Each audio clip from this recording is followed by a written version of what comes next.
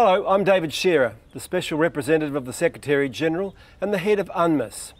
On the 21st of September, we celebrate International Day of Peace here in South Sudan and right around the world. It's a chance to reflect on and be proud of the positive progress made since the historic signing of the peace deal two years ago. But it's also a reminder that there is still much work to be done. Many people are frustrated with the delays in the peace process.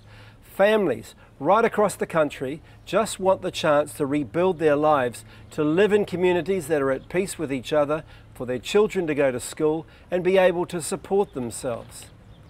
Let's use International Peace Day as an opportunity to make that happen, to breathe new life into the peace process so that the agreement is fully implemented as soon as possible.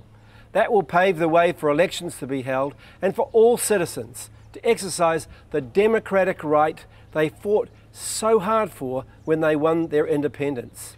The theme of Peace Day this year is Shaping Peace Together. It perfectly captures UNMISS's commitment to work in partnership with the people of South Sudan and to build a durable peace. We urge everyone, no matter who you are or where you live, to be a champion for peace. We share your hope for peace and prosperity, and together we can make that dream a reality.